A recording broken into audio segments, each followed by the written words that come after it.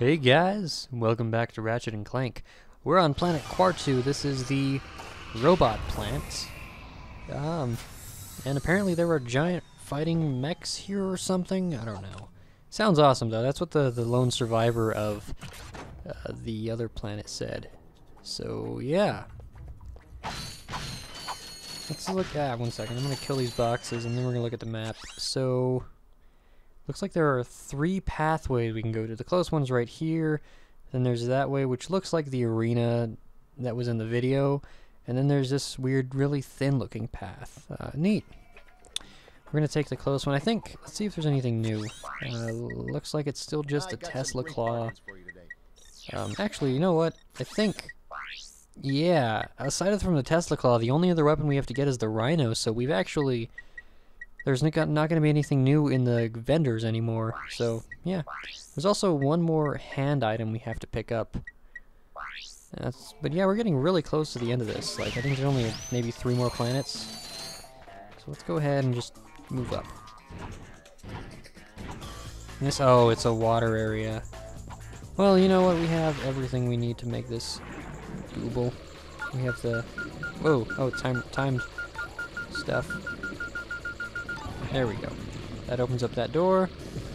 And then there are, oh gosh, laser spider things. I don't know the technical word. Oh, and there's a bunch of lightning in this water. That's not good. Anything down here?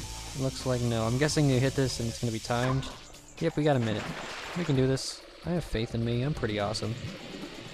Ah, just got to avoid these guys. That, that is not avoiding these guys, hero. What are you doing? So we're gonna have to like, oh, there's a bunch of time stuff going on too. Ah. Yeah. Oh, it's really hard to judge the distance of the uh, spider laser bots because it's just like a straight line. I don't know. Not enough points of reference for the distance in my uh, vision, I guess. I don't know. This is just kind of creepy. Got 20 seconds left, if that. Think we're at the end of this. Oh, oh, wrong way. Looks like there's an item up here. What is that? Is it like a belt thing? It is. Oh, yeah! Neat, what is it? The bolt grabber. Cool. This lets us grab bolts from a farther distance. Unfortunately, we don't have the box smasher, which is in the next game, which lets us just kind of do a ground smash and break all the breakables nearby, which is one of my favorite things in the games because it just means all the bolts come to you, but oh well, I'm not going to complain too much. So that was that path. That took like, what, three minutes? not even that, more like two. Alright, so I guess now we just have to go that way. Oh, the door's open for now. Oh, there's stuff down here. Uh, what weapon should, should we use? The blaster we have full ammo for. Oh, that's weird. I just noticed the... You have to hold the L2 or the R2 button to strafe. R1 and L1 don't do it, but at the same time, R1 and R2 are the crouch buttons, and L1 and L2 are the aim buttons. So they like, they mapped the, the secondary shoulder buttons to one effect when you're doing the glide, but not when you're regularly walking. That's kind of dumb. Okay. Uh, hey, buddy. Those are those laser things from the last planet, Gorda City. Okay, there are bolts in this ground, and I want them.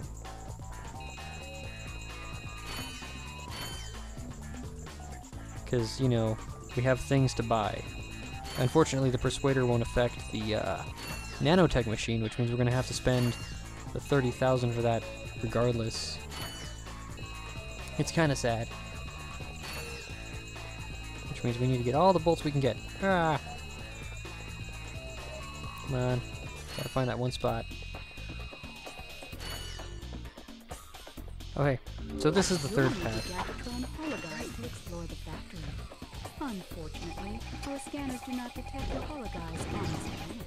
Yeah, we need to get another item to come back here to explore it later. Which is kind of sad. Because there's like an alarm. Oh, the door shut up on us. I just noticed. Or maybe it was just not in the field because of the draw distance. I don't know. Let's go this way. Hey! Chicken bots, you suck. That was awesome. Like, that worked way better than expected. Oh, looks like there's a whole stealth section up that way. Interesting.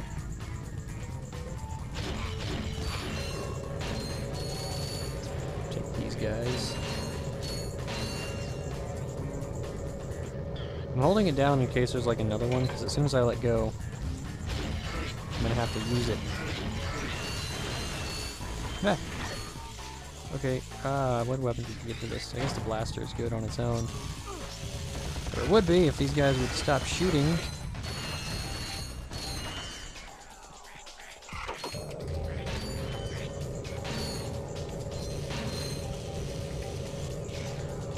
Rotate a little bit.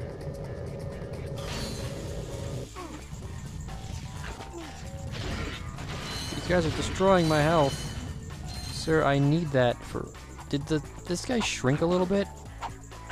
Oh, jeez, he shrunk and got immortal because I was shrinking, sucking him in with a suck cannon. And got hit while I was doing it. That's annoying. I didn't like that.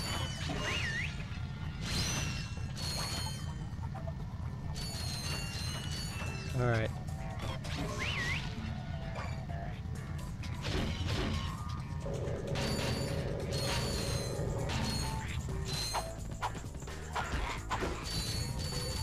Maybe I could have hit him with the drone device or something.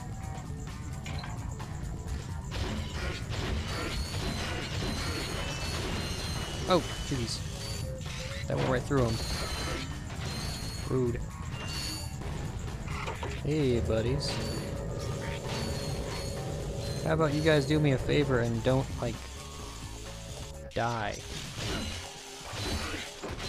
Or actually die when I need to die, but not before. And there we go.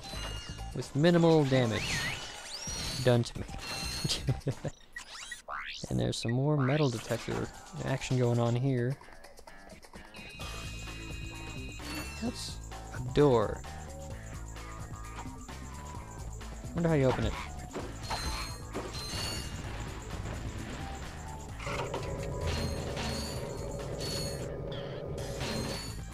And there's a scientist over there. But more importantly, there are some bolts over here. So let's talk to this weirdo.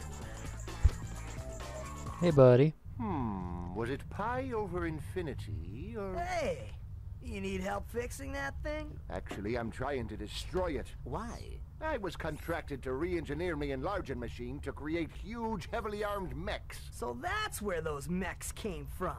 Precisely. Had I known Drek was behind this, I never would have done it. Is there anything we can do? Well, if you'll volunteer to be enlarged, you may be able to stop those mechs long enough for me to sabotage this machine. And then you will change me back? Uh, I've never tried that, but in theory, yes. Neat. Okay, so let's uh get enlarged. Oh. He looks like his legs have tires on them. this is Giant Clank. Uh, you can see Ratchet's on his back. He can punch. He has missile things on his wrists now, and he can just kind of step on everything. Reminds me of the ATST from Star Wars Battlefront, except with better stompability, I should say. I think that's a word, right? Stompability? It's a word now. And we're just gonna rake in all the bolts. Break all the stuff. Unfortunately, that bridge over there was broken, which I guess was intentional to avoid having to, you know, walk Giant Clank around the world too much.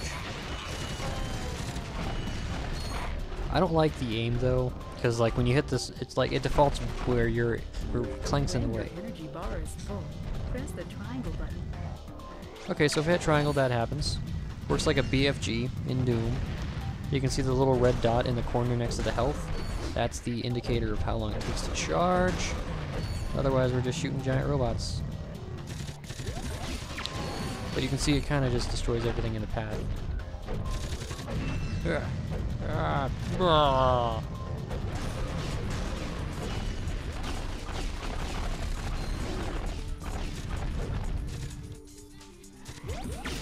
Boom.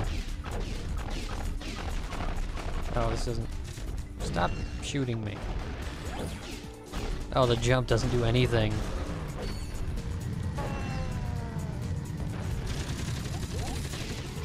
BFG.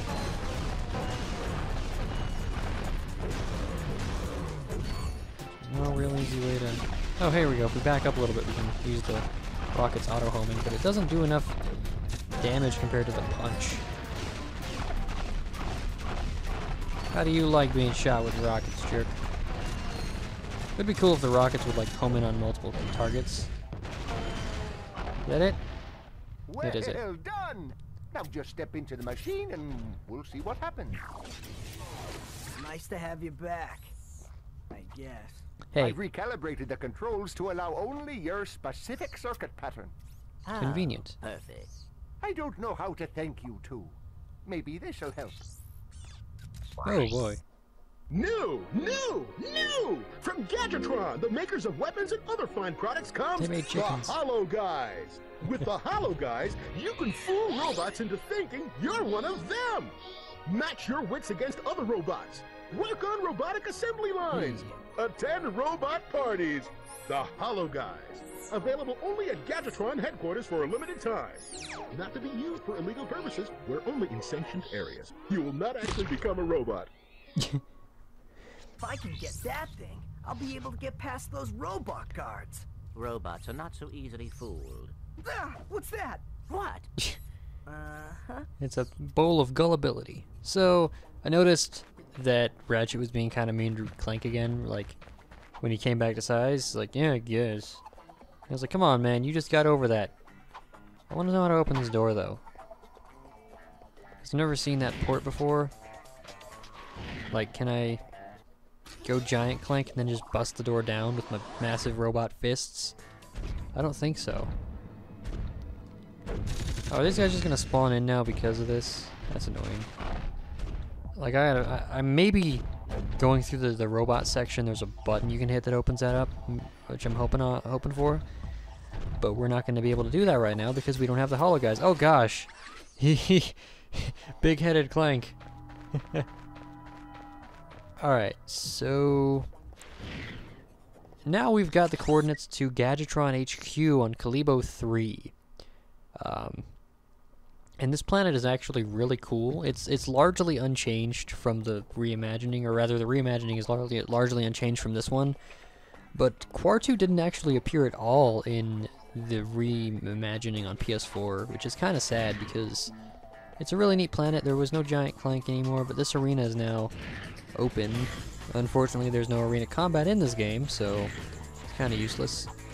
So I guess with that done, next time on Ratchet and Clank, we're gonna go ahead. Oh, we're gonna kill these guys first for the second time, but I'm gonna do it the nice way. Next time on Ratchet and Clank, we're gonna head to Kalebo 3 and go to Gravitron HQ. Probably find some really cool stuff there. In fact, I know we'll find some cool stuff because I've played this game before. But yeah, that'll be later. so I'll see you then, guys. Take care.